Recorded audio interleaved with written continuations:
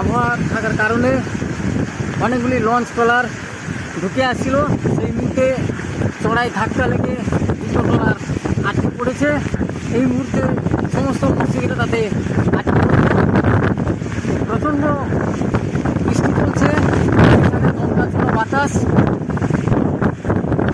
দীঘা মোহনা ঢোকার মুখেই চড়াই ধাক্কা লেগে ডুবে যাচ্ছে দুটি মৎস্যবিদের ট্রলার প্রচণ্ড জোরে বাতাস বইছে এবং বৃষ্টি চলছে।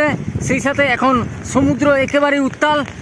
আজকে দুপুর থেকে যে জোয়ার শুরু হয়েছে এখনও উত্তাল রয়েছে সমুদ্রে জলরাশি। একটি ট্রলার ডুবে গেছে, আরও একটা চড়াই আটকা পড়ে আছে। তার মধ্যে কয়েকজন মৎস্যজীবী সাঁতরে উঠে যাচ্ছেন। দীঘা লাইভের মাধ্যমে আপনারা সেই চিত্র দেখছেন। সঙ্গে আছি সুভাষ মিশ্র। তুলে ধরছি এই ভয়ঙ্কর চিত্র এই মুহূর্তে। কি ভয়ঙ্কর দৃশ্য দেখুন।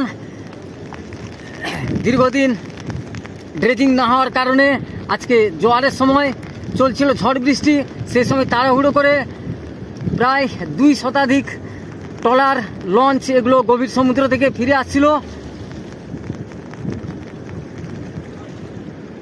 দীঘা মোহনার কাছে একযোগে ঢুকতে গিয়েই দুটো ট্রলার কোনোভাবে জলের তোড়ে এবং বাতাসের ঝাপটায় চলে যায় মোহনার সেই খালের মাঝখানে, যেখানে বালির চড়া রয়েছে, সেখানে আটকে পড়ে এবং একটা ট্রলার পুরোটাই ডুবে গেছে। সে তার সেখান থেকে কিছু মৎস্যজীবী তারা বেরিয়ে সাঁতার কেটে শঙ্করপুরের দিকে চলে যাচ্ছেন। আপনাদের জুম করেই দেখাচ্ছি। দেখুন, একটা ট্রলার আটকে আছে, তার উপরের কিছুটা অংশ দেখা যাচ্ছে।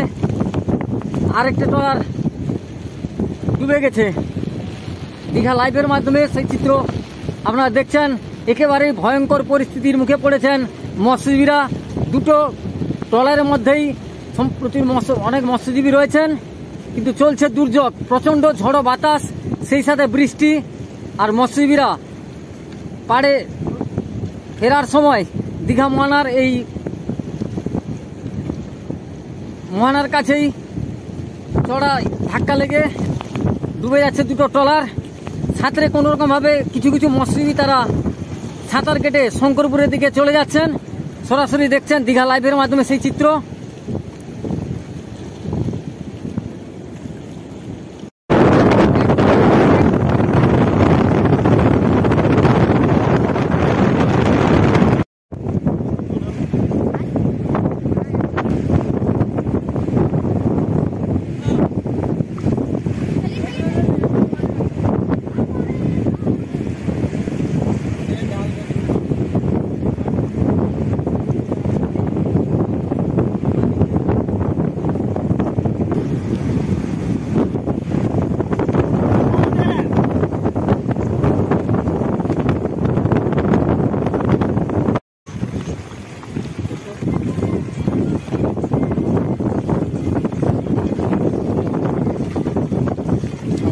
খারাপ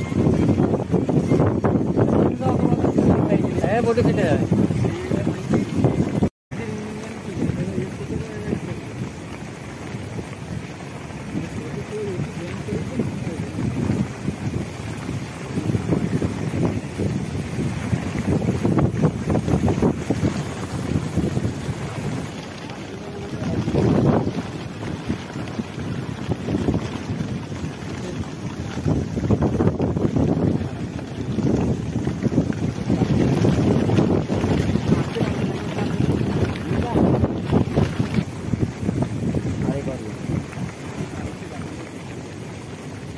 যায় না বা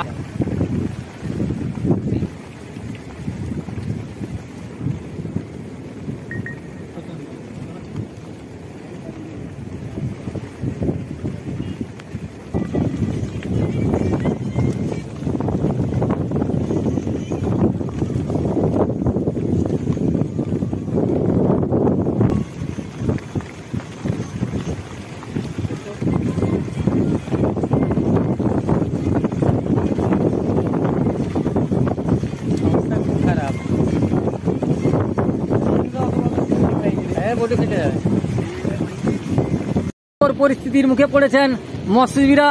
দুটো ট্রলারের মধ্যেই প্রচুর মৎস্য অনেক মৎস্যজীবী রয়েছেন, কিন্তু চলছে দুর্যোগ, প্রচণ্ড ঝড়ো বাতাস, সেই সাথে বৃষ্টি, আর মৎস্যজীবীরা পাড়ে ফেরার সময় দীঘা মোহনার এই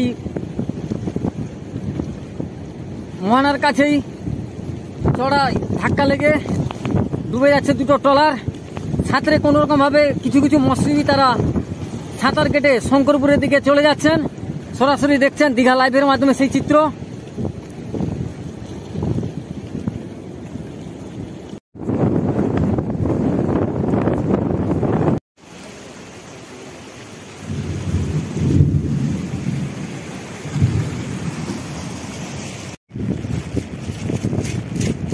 ভয়ঙ্কর দৃশ্য। আজ দুপুরের জোয়ারে মৎস্যবিদের ট্রলার ঠিক ছিল গভীর সমুদ্র থেকে দীঘা শঙ্করপুরের মহানায়। এই গ্রোয়িং বাঁধের কাছেই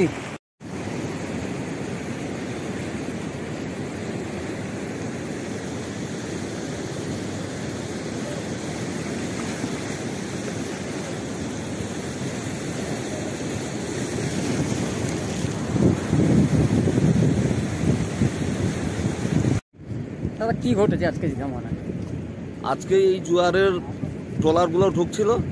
খালের অবস্থা তো প্রচুর খারাপ। সেই জন্য এই ওয়েদার জন্য ট্রলার ঢুকছিল। ঢুকতে ঢুকতে কমল করম আমাদের দীঘা অ্যাসোসিয়েশনের একজন কর্মকর্তা ছিলেন, প্রাক্তন। তার ট্রলার একটা মাছ শিবানী বলে সে ফেসে গেছে মানে ডুবে গেছে। আর শঙ্করপুরে সুশান্ত দে, তার ট্রলারটার নাম কি? অন্নদাময়ী। অন্নদাময়ী ট্রলারটা উঠে গেছে শঙ্করপুর চড়ায় খালের এমন অবস্থা কোনো ট্রলার ঢুকতে পারেনি এদিকে মরা কটাল ট্রলার সব লেগে লেগে ঢুকেছে। পরস্পর ক্ষতি হচ্ছে প্রায় ক্ষতি হচ্ছে আর এই দুটো তো ফেসে গেল একদম ডুবে গেছে একটা একটা উপরে উঠে গেছে। মৎস্যজীবী এতে চোদ্দ জন পনেরো জন করে থাকে সবাই কিনারে উঠে গেছে। জিনিসপত্রও তুলতে পারেনি কেউ মাছ ফাছ ছিল তার কিছু আনলোড করতে পারেনি সব ভেসে গেছে। আনুমানিক কত টাকার মতো মাছ ছিল? আনুমানিক তো আমরা ঠিক বলতে পারব না আমরা উপরে আছি আর দীঘা মহানাতে আছি আর কতটা কি মাছ থাকে এটা আমরা ঠিক বলতে পারব না। তবে মোটামুটি ফুল ফিশিং যদি করে আসে তাহলে পাঁচ ছ লাখ টাকা মাছ তো নিশ্চয়ই থাকবে। প্রত্যেকটা প্রত্যেকটা ট্রলারে এখন একটা সিজনের প্রথম পাঁচ ছ লাখ টাকার ফিশিং এর মাছ থাকতে পারে যদি কমপ্লিট ফিশিং করে আসে।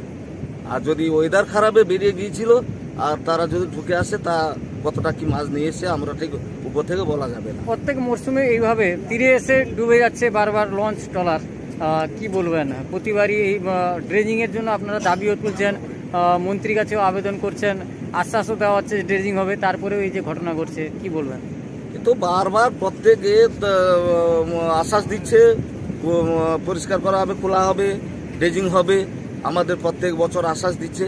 কিন্তু খালটা না খোলার জন্য শঙ্করপুরে যেসব ট্রলারগুলো ঢুকে প্রত্যেক সময় এই ঝড় বৃষ্টির যেমন প্রত্যেক মরানির বলতে সপ্তমী অষ্টমী নবমী এই সব তিনটা চারটা দিন যদি ট্রলার ঢুকতে যায় বেরোতে যায় তাহলে এখানে লাগে। এই খালের অবস্থা যা হয়ে গেছে। সিজনের শুরুতেই প্রথম শুরুতেই এ, এইভাবে দুর্ঘটনা ঘটে গেল। প্রথমে সিজনতে শুরু এই ঘটে গেল। তারপর যেটা সিজন চলতে চলতেও এইরকম তিন দিন মিনিমাম লেগে থাকে। ইচ্ছা করে ঢুকতেও পারে না ইচ্ছা করে বেরোতেও পারে না। আপনার নাম? অজিত কুমার বড়াই দীঘা ফিশারম্যান ফিশ টেরাস অ্যাসোসিয়েশনের ডাইরেক্টর